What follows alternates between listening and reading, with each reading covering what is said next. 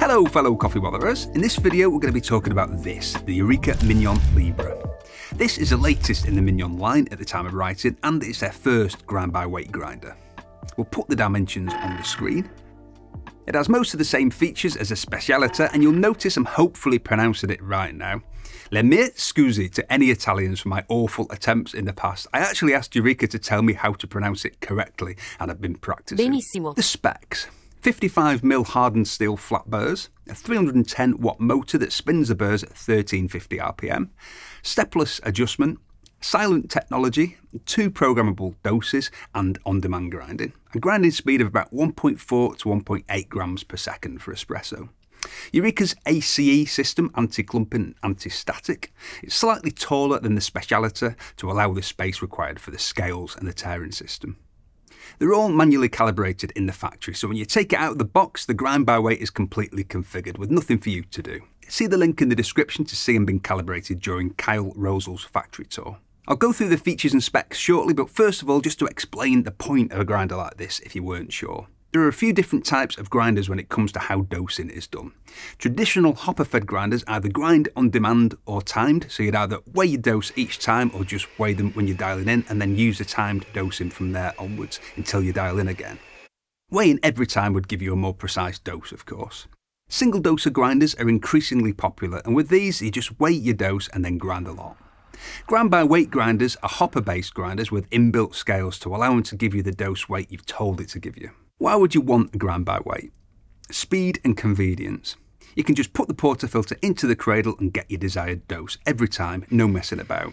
They're very convenient in a commercial setting, and some home baristas prefer this kind of convenience too. There are pros and cons for single dosing versus hopper dosing, and I'm not going to get into that here. If you're looking for a single doser grinder, then clearly this isn't for you. There are loads of options from Eureka and various other brands. I'm very happy with single dosing. I don't usually see that as inconvenient. It's a fairly quick workflow. Yeah, if you stood in front of a queue of people all waiting for coffee, then you might need a bit more speed, but I think single dosing is plenty quick enough for most home users.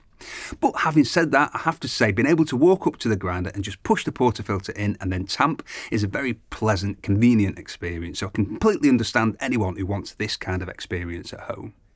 Starting off with the way it looks, it's a lovely looking grinder as you can see. I asked Eureka if they could loan me the Ferrari red one because on screen that colour looked really cool and I can tell you it looks just as cool in the flesh.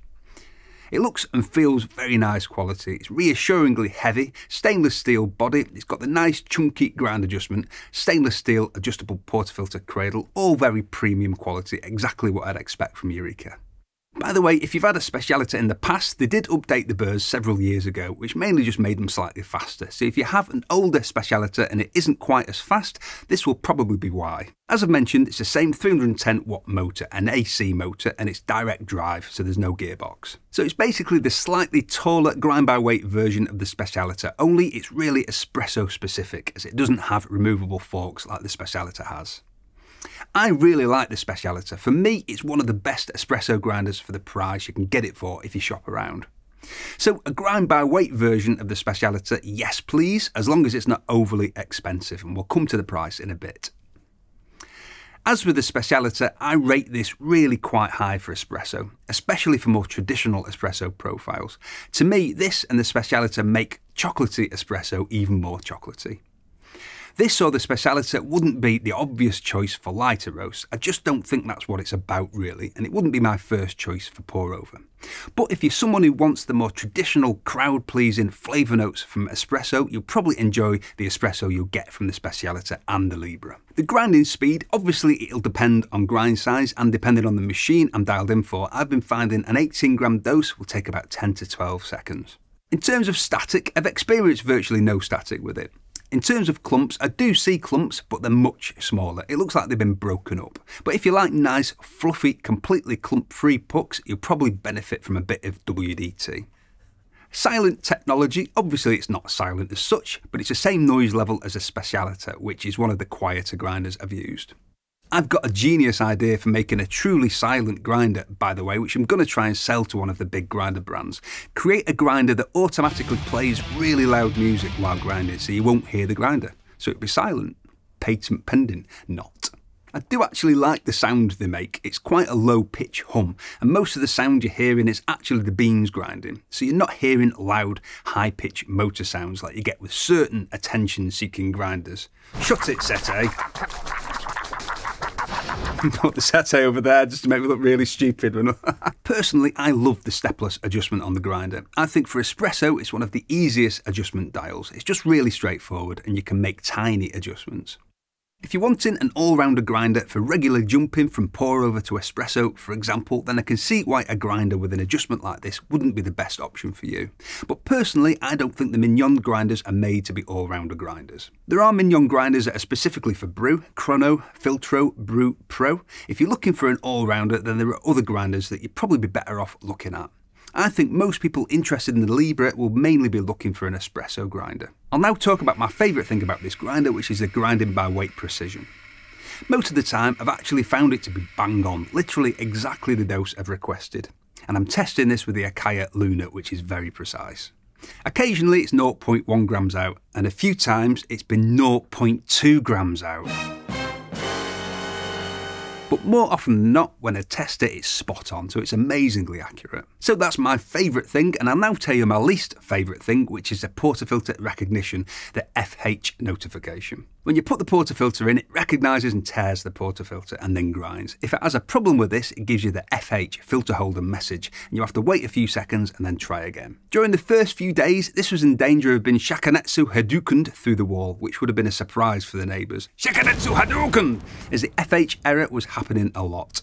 I spoke to Eureka and they suggested a few things. The one thing that did work was I moved it from a position on the counter that isn't perfectly flat to a flatter, more stable location. This worked, so if you're getting this a lot, try moving it to a flatter, more stable location. It still does this occasionally. I do find the forks are just slightly oversensitive. If I put them on on a slight angle or from a bit clumsy when I do that, it happens, but it's not a huge deal. I have told Eureka this, they probably think I'm a clumsy idiot, and they're probably right, and it's not a massive deal, I only get this occasionally now. The only other thing I don't love about it, to be honest, is the hopper. It's fine, it's just a hopper, but the grinder itself looks so stunning and feels so high quality, and then the hopper is just a bit meh. I've always thought this about the Mignon hoppers. I don't really mind the hopper itself that much, although I think a dark coloured UV resistant material might be a better option for home machines, as home users do tend to have beans in the hopper for longer than in a commercial setting. But if they could do something with the lid, just a slightly thicker, nicer feeling and nicer looking lid, maybe with a rubber seal, I think that would finish this grinder off really nicely. Maybe if they just offered something like this as an optional extra, that'd be an idea. The Eureka dosing funnel is available in three versions, a 54ml version for the Sage or Breville 54ml portafilters, 28ml tall, and two 58.3ml versions for 58ml portafilters, a 28ml tall one and a shorter 22ml tall version. They're very nice quality magnetic dosing rings. Whether they're going to be included in the box or sold as optional extras remains to be seen. I think that's down to the retailer. You can use your current dosing ring if you have one, or you can use them without a dosing ring.